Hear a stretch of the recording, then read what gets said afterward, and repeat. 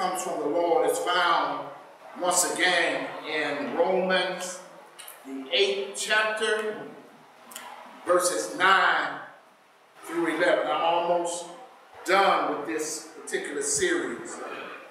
Amen. As we approached it going backwards. Romans, the eighth chapter, verses 9 through 11.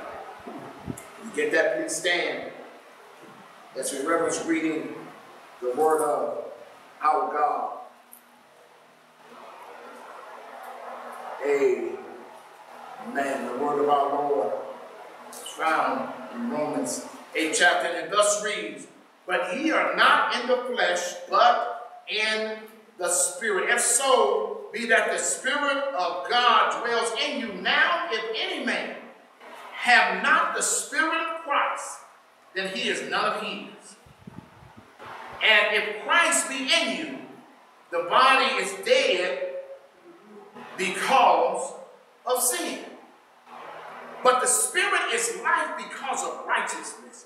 But if the Spirit of him that raised up Jesus from the dead dwell in you, he that raised up Christ from the dead shall also quicken your mortal body by his Spirit that dwelleth in you. Let us pray. Father God, we come now in the Master's name of Jesus, thanking you for bringing us into your house one more time. Thanking you, God, uh, for allowing us, amen, to wake up with our hearts and our minds set on coming to worship. Now, God, that we hear, we ask that you meet our needs right where we are, Father God. You said that if we would come, uh, oh Lord, in, in, obedience unto you, Father God, and be willing to hear of your word and agree to do your word, Father God, you said in Joshua 24 that you would create a unilateral covenant that whatsoever we need, you would provide. And so, God, we've done what you asked us to do. Now we ask you to feed us with manna from on high. Empty our cups, oh God, that you might fill them to the brim this morning, that when we leave here, we know we've been in your presence. Let your train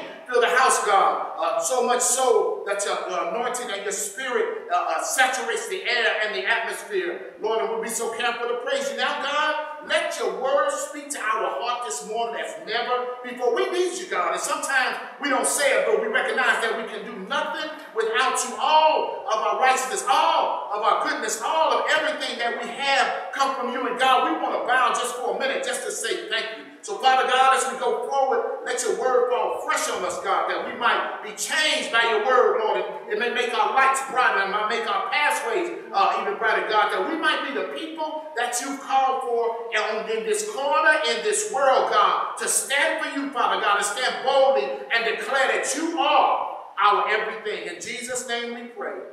Amen. You may be seated in the presence of God. I, I've been talking, we've been talking quite a bit about the idea of the Spirit of God living in us.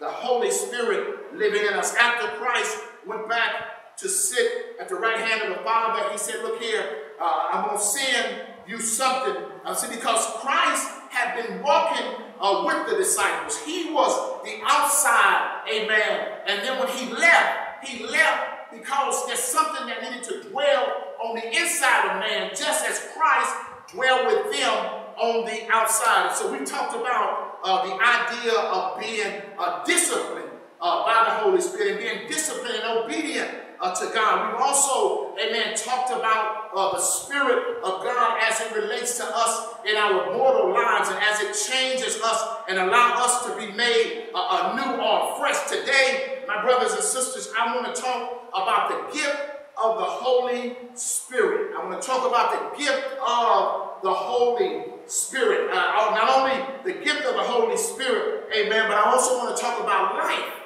in the Holy Spirit. Amen, amen. And so, so my brothers and sisters, when I say the gift of the Holy Spirit, I don't want you to run away with that uh, because there are two uh, uh, ideas here that first come up. One of them uh, is the gift, the gift gifting of the Holy Spirit, and the other one is the baptism of the Holy Ghost. Next week, I want to cover the baptism of the Holy Ghost, but this week, I want to talk about the gifts of the Spirit. Don't get them twisted because a lot of, uh, a lot of theologians and a lot of denominations uh, hang on the balance of the idea of how the Holy Spirit rests and abides in our lives. How, uh, my brothers and sisters, and so don't, I don't want you to get tied up or messed up in that uh, situation. If you look at Acts uh, 2 and 38, uh, which ways it says if you repent and get baptized, you will receive the Holy Spirit. Amen. The, having the Holy Spirit through water baptism makes you saved or makes you a Christian.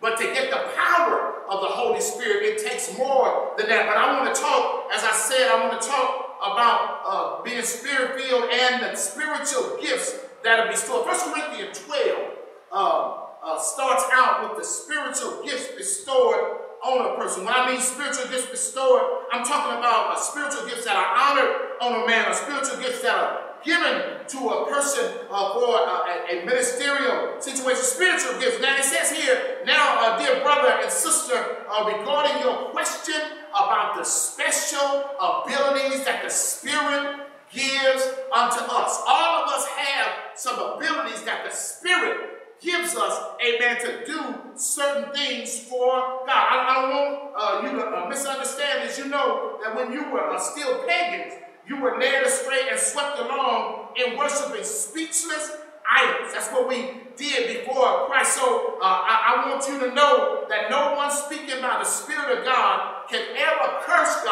or say anything about God that is untrue. I, understand that. When you, the Spirit of God, uh, uh, the Holy Ghost will only speak of Christ. He only speaks, he don't speak of anything negative. And if you cannot speak like that, then, then you don't have uh, uh, the Spirit living on the inside of you. Amen. Uh, uh, the Spirit, you know, uh, so I, I want you to know that no one speaking by the Spirit, as I said, will curse Jesus, and no one can say that Jesus is Lord except he do it by the Spirit. You remember when Peter, uh, amen, was talking to Jesus and Christ said, listen, who the men say that I am? He went on to give him uh, some things about who he thought he was, but he said, now who do you say that I am? And Peter said, well, listen here, uh, uh, you, you, you, you, you're the Christ. You're the Son of the living God. And he said, wait a minute, Peter, uh, let me tell you something. Uh, uh, flesh and blood did not reveal that to you. The only way you got that is, is that the Holy Ghost had to reveal it to you. Sometimes,